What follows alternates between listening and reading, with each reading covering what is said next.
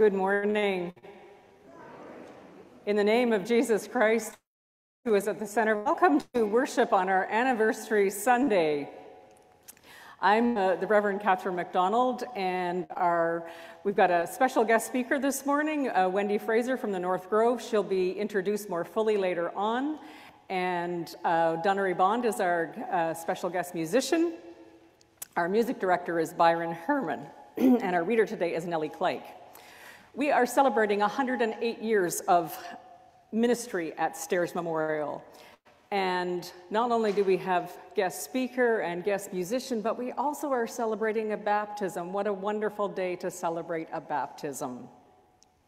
To those of you who are joining us on Zoom or Facebook Live, as well as those of you who may be joining or viewing the, the broadcast later on. I love to know where people are. And if you want to add a word to our gratitude uh, pumpkin, uh, please uh, make a comment and I will add it later on. I do check those comments later on during the week. As we gather in this place, we are mindful that in Nova Scotia we gather on unceded territory of the Mi'kmaq people. And so may we live with respect on this land and in peace and friendship with its people. Let us sing, just remain seated and sing together. Spirit, open my heart.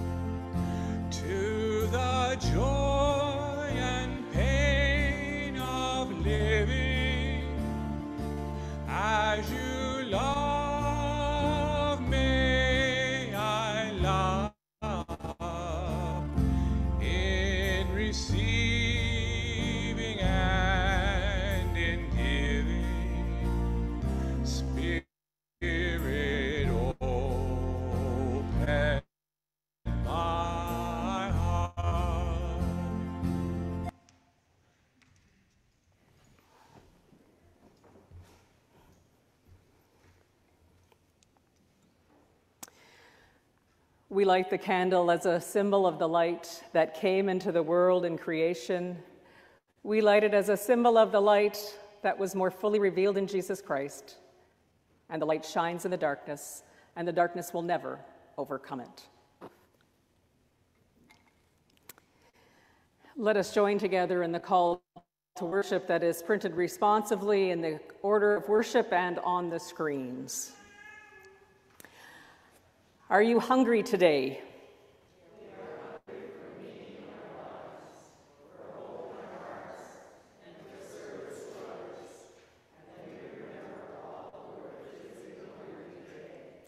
Are you thirsty today?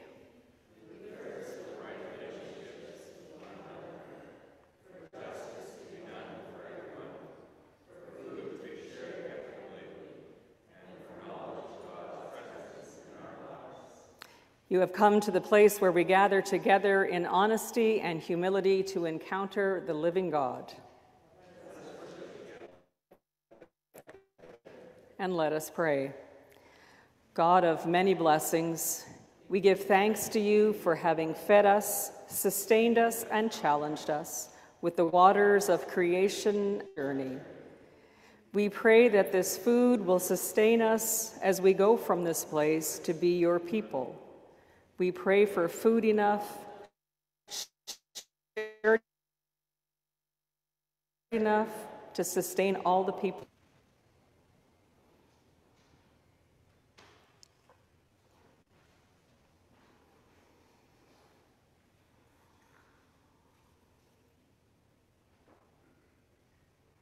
We turn to you, knowing that you understand us Forgive us and love us like a mother. Our Father, who art in heaven, hallowed be thy name. Thy kingdom come, thy will be done on earth as it is in heaven.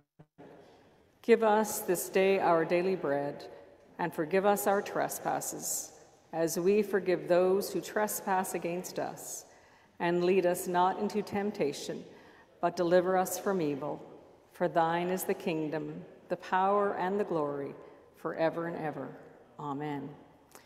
I invite you to rise in body or rise in spirit as we sing our opening hymn, Let Us Build a House.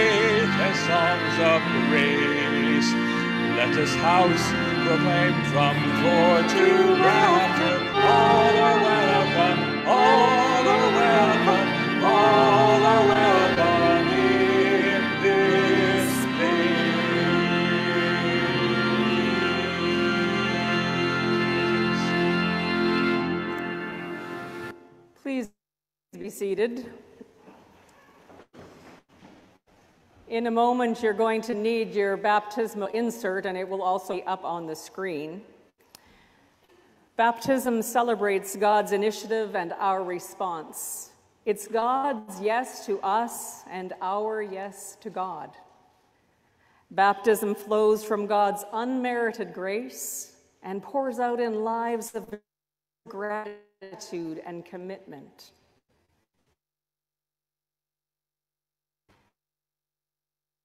As initiationists, it's an the covenant of baptism celebrates the fullness of God's grace throughout the story of salvation.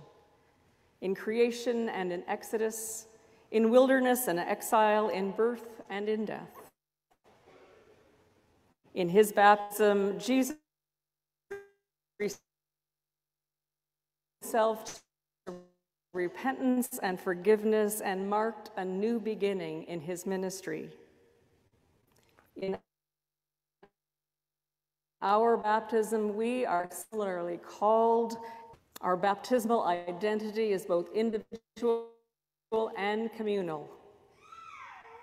It honors the diversity of individuals and challenges us to be a community of equals. As Paul wrote, as many of you were baptized into Christ and have clothed yourself with Christ, now there is no longer Jew or Greek, no longer slave or free. There is no longer male or female, for you are all one. Jesus. I invite you to stand as we sing our baptismal hymn, Child of Blessing, Child of Promise.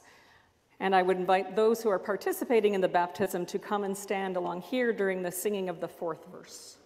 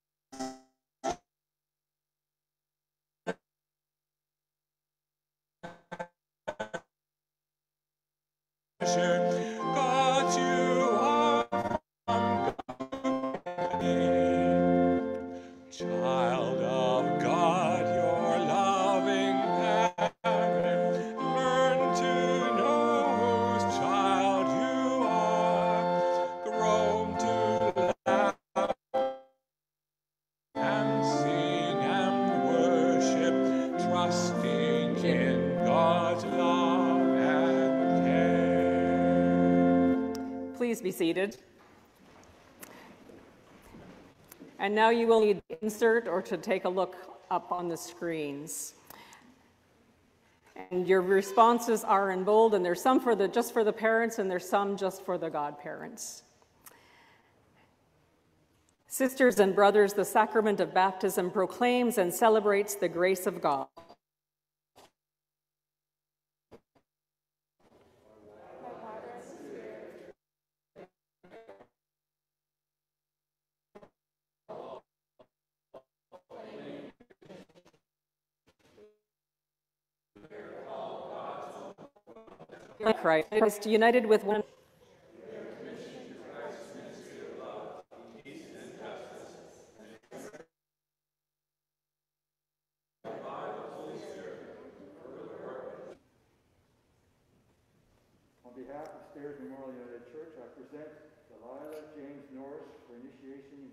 Of Christ through baptism. I asked you these questions so that we might know your mind and heart, and if you'd like to take off your masks, you can. I'm guessing you've been in the same household together. Do you believe in God, source of love, in Jesus Christ, God's love made human, and in the Holy Spirit, the power of God's love? We do by the grace of God. Trusting the gracious mercy of God, will you turn from the forces of evil and renounce their power? We will, God being our helper. Will you follow the way of Jesus Christ? We will, God being. Will you join with your brothers and sisters in this community of faith to celebrate God's presence, to live with respect in creation, and love and serve others? We will, God being our helper. In baptism, you mark an important step in your faith journey. Do you promise to share your faith as a family, attend worship, pray, and encourage one another to continually, continually grow in faith, and when the time is right, encourage Delilah to reconfirm these promises? We will, God being our helper. Recognizing that many persons nurture and influence the life of a child, will you, Tyler, and you, Nicole, as Delilah's godparents, support this family as they grow in faith? Do you folks gathered here as members of Stairs Memorial United Church, do you promise to assist in the Christian faith formation of this family as they seek the spiritual guidance and nurture of this church by providing the learning resources, leadership, and opportunities? Gracious and holy God, we bless you for the gift of life and within it the gift of water.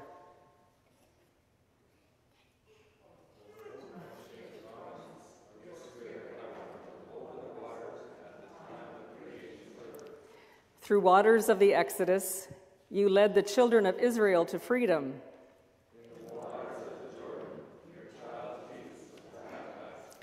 Jesus began his public ministry proclaiming the good news of your love and forgiveness, healing, reconciling, and revealing your love in all of its fullness.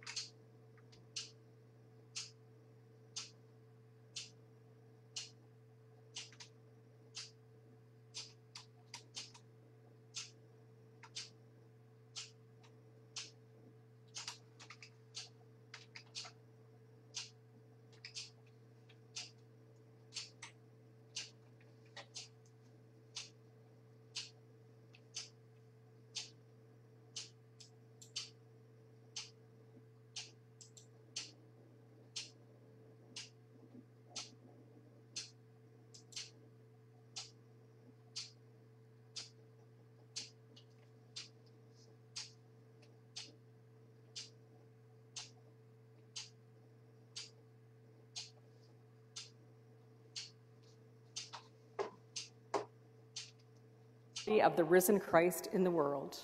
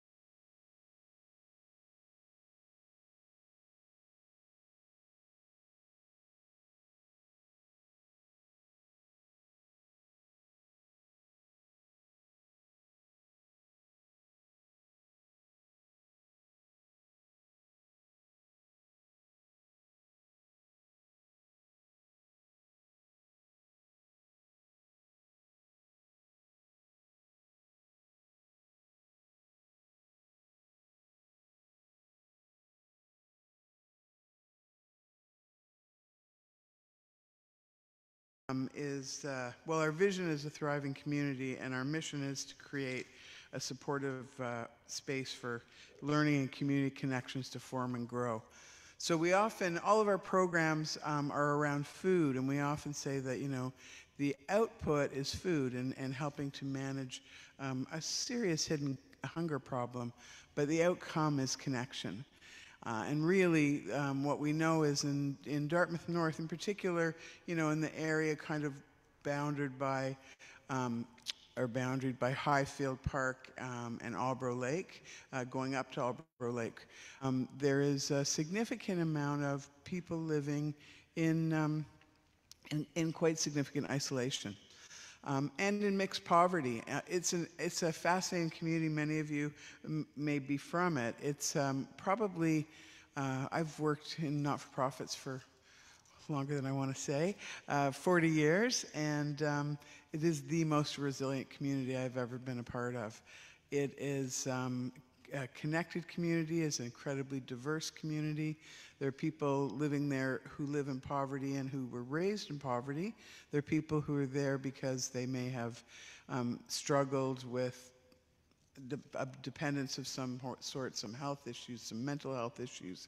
And there are people there who work long, long careers. Uh, you know, one of uh, uh, our regular volunteers and participants who worked at one of the big chain hotels for her whole career, baking.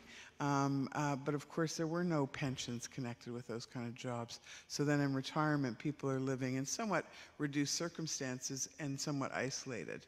Um, just to give you a couple of stats about our community, so I'm not speaking about the entire um, uh, community of Dartmouth North, but more about the community of North Grove. Um, and uh, in, in, our community, 84% um, of our participants are living on low income. 58% uh, are lone or uh, lone family, lone parent or lone family households. 49% uh, of all residents in Dartmouth North live alone. Um, 82% live in rental units. 84% say food insecurity is having a negative impact on their physical health and 97% uh, feel that they have a sense of belonging at the North Grove. So um, I will try to quickly give you a 26 year history of our work in the community. Um, we started out as Dartmouth uh, Family Center, Dartmouth uh, Family and Resource Center originally, uh, nearly 27 years ago, trying to support um, mostly young families um, in developing parenting skills and having ways to connect. Um, if you're living in some poverty, then the idea that you're going to have a babysitter come in so you can have a little bit of a break or that you're going to go to a variety of you know classes for moms around town becomes much more challenging. And when you bring people together uh, you know we often say we just provide the space the magic happens from the people who come there. And so very often families then start supporting each other um, and we really saw it during COVID that families who'd met and connected in our family programs stayed connected throughout COVID. They helped one another and, and really managed some of that social isolation and support. You know, at the very beginning, you probably remember, you couldn't take your children into the grocery store. So if you were a single parent, it was very challenging to even get a hold of food. Um, so you know, when, when we were in business for about 25 years doing child development programming um, and parenting programming, and in the middle of that, um, kind of by accident, we became aware of the level of hidden hunger in that particular part of the community. And it happened because people used to come into our old family center, which, uh, which was on Albro Lake, and they would come to maybe fax something, fax, it sounds so ancient already now, uh, to, to fax something or find out the bus schedule or maybe just do a crossword and have a little time with people. Um, and there was a recognition that people were hungry. So first they started putting out snacks, and then they started putting out um, crock pots of food. And within an hour, the crock pot was gone. So then it started being two crock pots and then three crock pots. And the, the, what became apparent was how many people were prioritizing rent over food. Um, and we know, you know, this was kind of prior to the, the crisis we're in now with housing, but it's very hard to afford both um, when you're living on a fixed income. So from that, we, we then connected with uh, Community Food Centers Canada. And there's some uh, brochures at the back if you want to learn some more information about the programs we put on. Um, and Community Food Center Canada, in a nutshell, is entirely different from other kinds of food programs. So it's not a food bank and it's not a soup kitchen. And there's, there's a real place for both of those in our community. But really, what this was about was about bringing people together over food skills and, and sharing food. So, in normal times, because COVID has been nothing but abnormal, um, we have about 100 volunteers a week. And those volunteers may be from anywhere within the community or they may be participants. Um, and uh, they help prepare the meals. We have a 20,000 square foot farm, and everything that we grow on the farm we give out during the summer, and we have a, a, weekly market, or we put into the food that we serve. And so we have community meals three times a week. Um, we have food skills programs where people come in, learn how to make. I don't know, chili. Um, they get all the ingredients for chili because some of the things you don't think about in terms of poverty is how expensive spices are. And if you're living on a fixed income, just affording to get chili spices can be a challenge. So they learn how to do it. It's a little bit for, I'll age myself, but for those of you who remember the Galloping Gourmet, it's a little bit like that. We have a staff with a little microphone on, and she uh, teaches everybody how to cook a certain meal. And then everybody gets to share in that meal, and then they get to take home all the ingredients and cook it at home. So it makes sure that in that skill development and connection, people get three meals as well. So it's a very important part without it being just about giving out food. It's really about bringing people together and connecting over food. So we do the same with our child development programs. There's always snacks and food that go home. Um, during COVID, of course, you know, well, as I said, connection was what we do. Um, we couldn't. So we really still needed to make sure that people were fed. Um, and I have to say that uh, I have the best staff team in the world. Um, and they, within six days of, of the world shutting down March 9th, uh, 2020, um, we had reconfigured ourselves to be a food distribution team. Um, and during that time, in the year between the beginning of COVID and, and the end of March, um, we uh, distributed 23,356 meals. All of those meals were double meals so that people could have at least enough um, for two meals from it, and we did that twice a week. Um, we uh, put out 12,400 produce packs, 4,200 home visits and calls, and um, uh, 2,100 calls for our community action office. Then our community action office, we have something called uh, peer support, where people get trained to be able to support their neighbors to get help working with their workers or with their landlords or whatever that it doesn't need they don't need to kind of go to a social worker for that. They can actually do that peer to peer. So we make sure the peers are trained to do that um, and then they provide that support. So we also became quite the, uh, as I see that you have done, um, we became very, uh, well, I did not, but some of my staff became very tech savvy uh, through this time. And so we did a lot of video as well. We did a lot of programming and cooking groups through, uh, through video. Um, I'm really pleased to say that we've been back uh, in person for four months now at reduced numbers um, and being careful but bringing people back together. Uh, so, you know, just to tell you quickly, um, in terms of, you know, the other things about the community is it's a very diverse community, um, both in age and in circumstance, but also over the years becoming increasingly uh, diverse. A lot of people, we've seen a real increase, um, particularly from the original Syrian refugee, um, you know, eh, kind of uh, influx, I was going to say, which sounds like it's over, but it was really uh, it was a lovely amount of people who came. But a lot of people were sponsored for a year and then needed to find other housing. And unfortunately, often were in uh, low paying jobs. So Dartmouth North has become, I mean, the benefit is it's become incredibly uh, diverse. And our farm has become incredibly diverse as a result. Uh, part of our farm, we, we grow food and we distribute food, but we also have boxes that people can use over the summer. They can learn how to farm if they want, or they can grow whatever they want if they know how to. So it's been really amazing to see the different things that people are growing um, and teaching us about foods that you know they can't find in Canada um, that are staples are all of a sudden growing in our farm, and it's uh, it's a really lovely thing to see. Um, so uh, you know, as I, I, I, really said, it's been um, it's been a difficult time, but it's been a time of really recognizing how important we were. Um, the, not just our parents, but also we have a significant seniors population who also really took care of each other during COVID. So people would come and say, you know, I need 10 meals um, because there's three seniors in my building who can't get out at all, and we need to make sure that they're fed. So COVID was a challenge, and it's been a significant challenge for us and for the community, but it's also been a real gift in a way. Um, and the gift has been the recognition of how people support one another and how much people give to one another.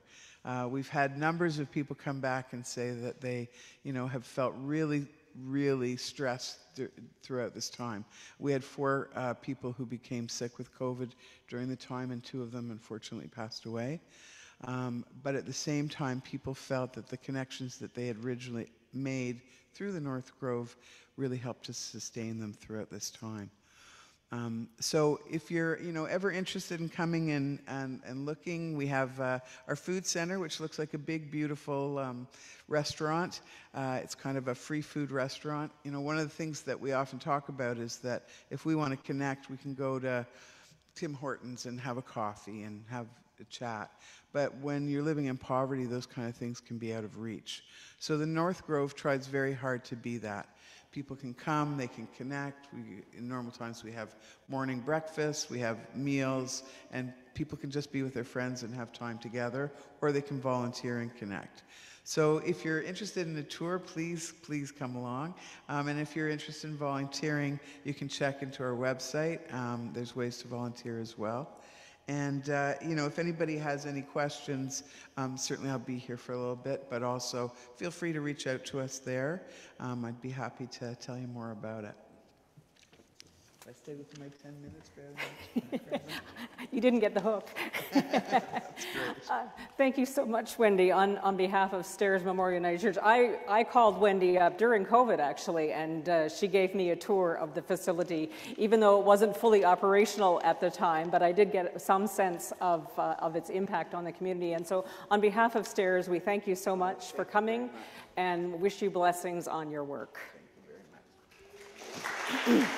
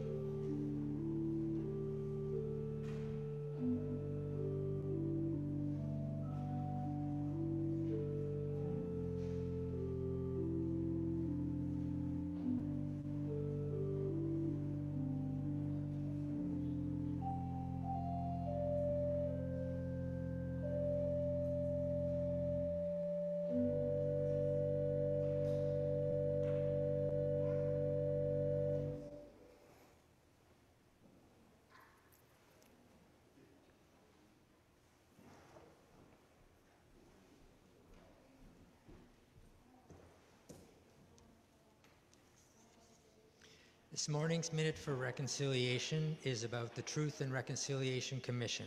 the United Church operated 15 schools within the Indian residential school system. These schools accounted for 10% of all the children within that system. This was part of a larger plan to assimilate Indigenous people and weaken their communities. Children were regularly rounded up and families were sanctioned if they didn't comply with the system. The last of the United Church's schools closed in 1969. The United Church acknowledges that our role in the residential school system and colonization is an abuse of power within or through our Christian faith. This abuse took many forms and was often brutal, and the Indian Residential School Settlement Agreement led to the creation of the Truth and Reconciliation Commission of Canada. Many children died at residential schools, and this year the unmarked graves of 1,898 Indigenous children were found at sites of former residential schools. The Truth and Reconciliation Commission tells us the path towards reconciliation is the path towards justice. There are many passages in our Bible that remind us how important it is to seek justice. But this time, we need to listen before we act and to support Indigenous people when they tell us what they need. The Truth and Reconciliation Commission uh, issued many calls to action. One of the calls for the church was to respond. Uh, the United Church has chosen to do that. One way is by creating the Healing Fund through the mission and service. Um, so one way for our congregation to support that is to make contributions to the Healing Fund. So this fall, we're trying to raise $1,898 uh, to contribute to the Healing Fund. If you'd like to participate, we have orange envelopes at the back of the church um, that you can use to make your donation. Thank you.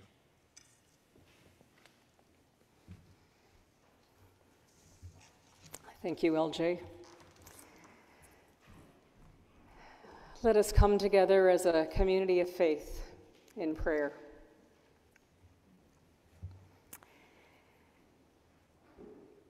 Gracious and loving God, we celebrate 108 years of ministry of stairs. Years of prayer and service and work and worship. Years of feeding people and working alongside them years of connecting with others in the community. For we know, O oh God, that we do not have the monopoly on your work. Your work takes place all over the place.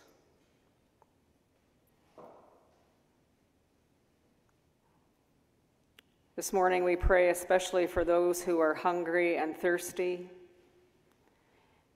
May they be fed with good and nourishing food and fed with justice and with healing. We pray for Delilah and Cooper and their family as they make this mark this new beginning in their life together. The delight of a celebration on, on an anniversary.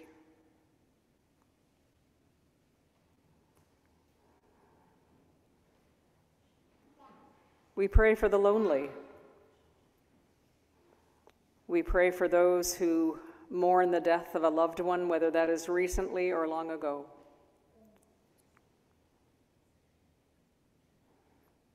We pray for those who are caught up in the justice system.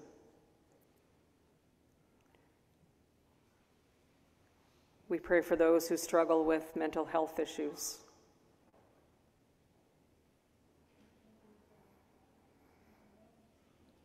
And we pray for ourselves that we might be called and claimed and commissioned by Jesus into his life and ministry and energized for that work by the Holy Spirit.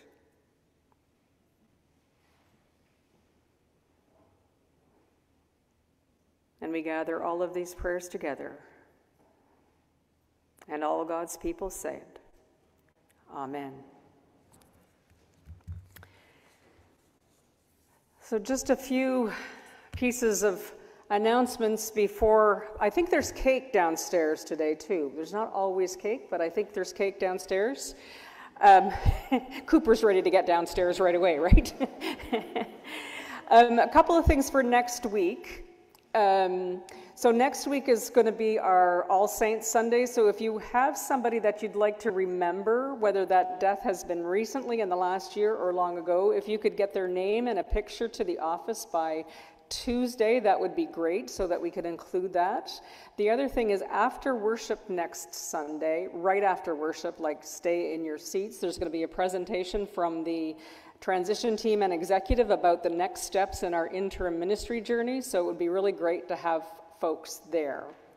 And I know I see the Reverend Dr. Susan McAlpine Gillis here, and I know that she would like to speak for a few minutes, and then I know that Janet McLean is going to speak for a few minutes. So, Janet, if you could maybe move up to the front to be ready.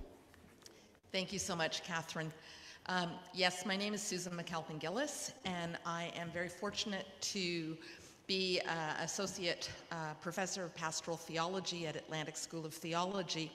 And one of my roles there is to work with all of our students who are involved in supervised field education. And so, on behalf of Atlantic School of Theology, I want to thank all of you and the Reverend Catherine McDonald for the support that you have offered over many years to students at AST and in particular to thank you for the work that you are currently doing with your student minister, Jesse Crabtree.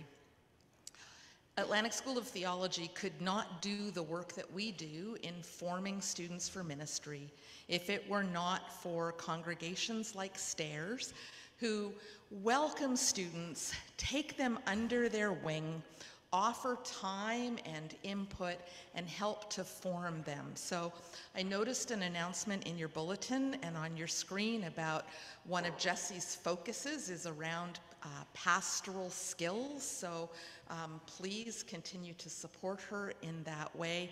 In the winter term, she'll be doing an educational project. Of course, she'll need participants for that. So just a, just a huge thank you for all the work you do.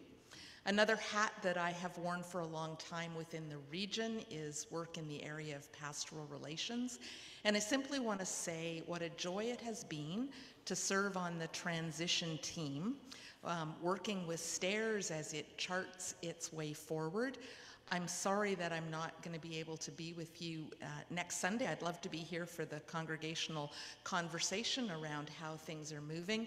But I want to say thank you for the gift that it's been to serve uh, and to continue to serve on the transition team. And although it's maybe not my place, I'm still going to say it.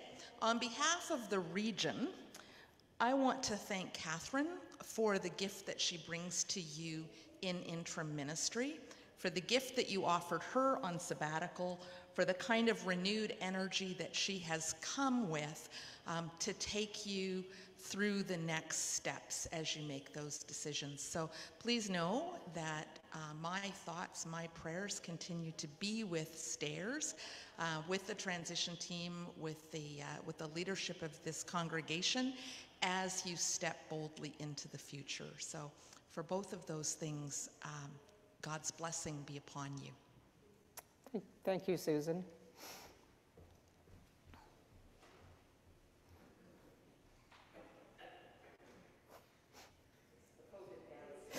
the COVID dance, yes.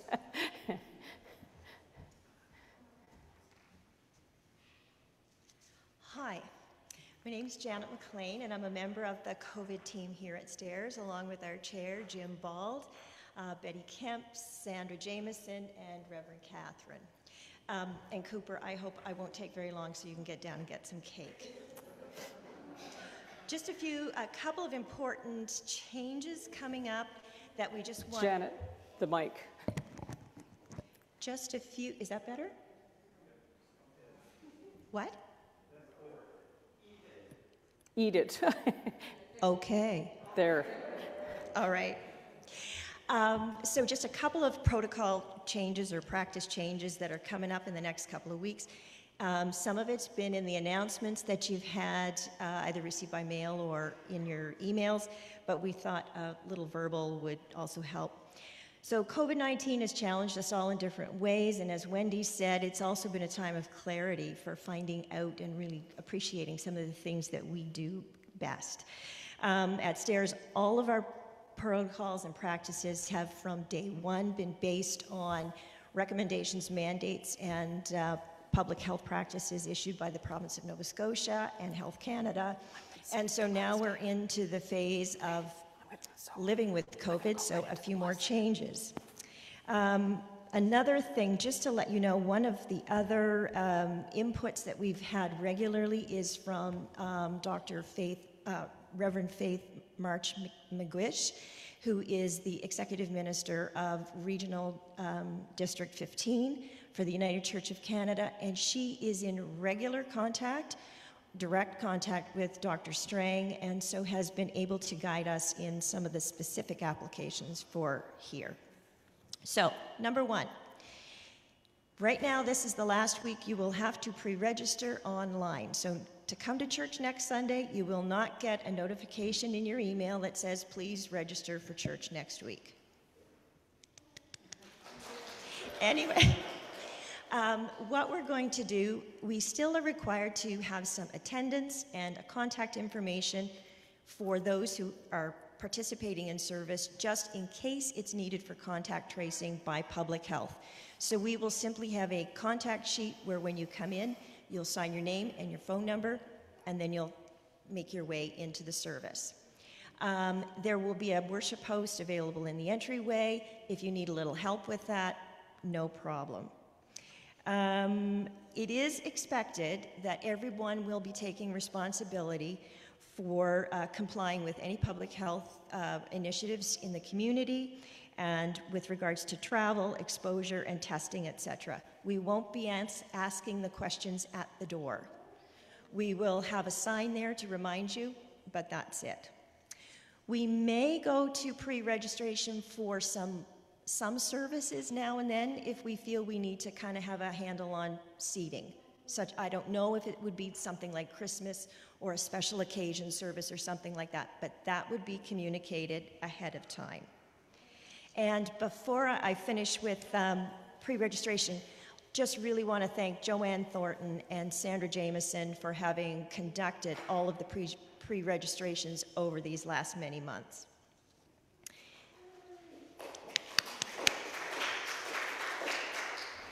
The second big change is proof of full vaccination at stairs. So, this has been an issue of discussion at many levels in the community and certainly here in the church.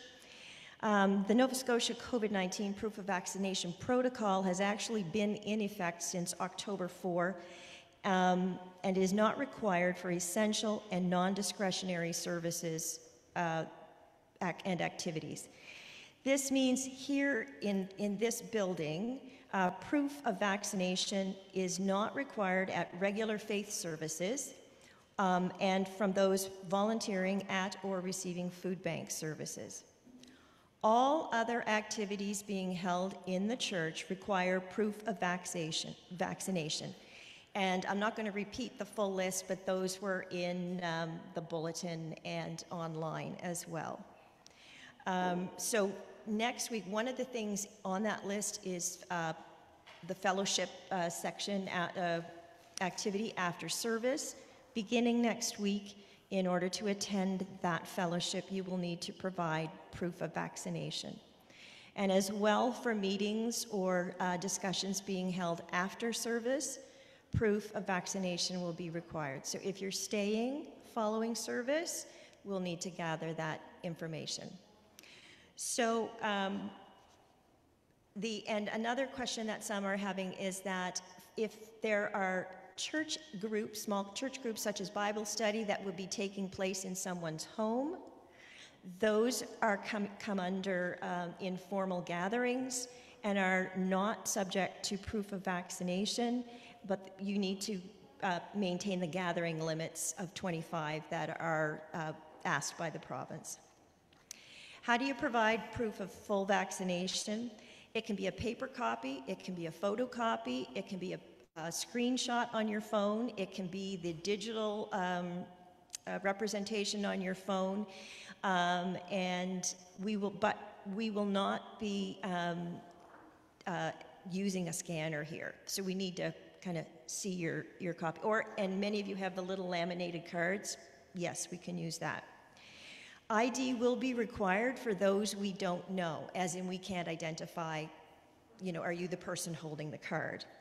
We, and as I said, we won't be using scanners. If it's a regular group with the same people attending, then proof of vaccine can be obtained once and doesn't have to be provided every time you uh, attend that group.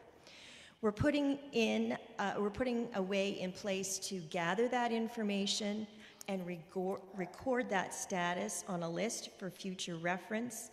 And this could be referred to for multiple groups and activities to help make things as convenient as possible. Um, vaccination, is vaccination records are considered private health information, and as such, we require your consent to add that to a list um, as such by the province of Nova Scotia under the privacy and confidentiality protocols. So the, um, we have, the province has issued a uh, consent sheet for that reason, and we'll have those available. And starting next Sunday, following church, I think Sandra and I are going to be, whether we're going to be in the area where the back chairs are or the entryway, we're not sure, um, to, for anyone who wishes to present their uh, proof of vaccination for the purpose of having it added to a list that could be utilized only here in Stairs. Information cannot and will not be shared in any other circumstance other than activities related to this church and, um, and we can have that added to the list. Now, that list will be collated in the uh, church office, um, and it's really only going to be added, names added into it once a week. So it's still a good idea to have your proof of vaccination in your pocket, uh, just in case. Um, next Sunday won't be the only time that you can um, sign on for the consent. We hope to have that opportunity available in the church office on Mondays from 9 to 3 if you wish to just uh, come on your own to do that. And we'll probably do some sign up like after church for a few weeks yet. And also, chairs and leaders of the activities and, and groups here at the church would be able to collect that information as well. Um, if none of these opportunities work well for you, please speak to one of us and we will help you do that if this is something you'd like to do. Um, so uh, I think that that is about it. We're hoping that in the uh, announcements in the uh, electronic announcements this week, we'll add a copy of the consent so you can have a look at it and with more details for next week. So thank you very much. I'm getting the hook. You're getting the hook. Thank you, Janet. Um, the COVID team has been amazing throughout this whole process. Uh, Paul, we're skipping the last hymn.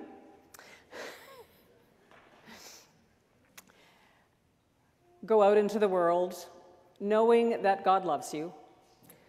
Go out into the world with a hunger and a thirst for justice Go out into the world knowing that you are enough for what God has planned. And as you go, may the grace of our Lord Jesus Christ, the love of God, and the communion of the Holy Spirit be with each and every one of you this day and always. Amen. Our song of dismissal will be up on the screen.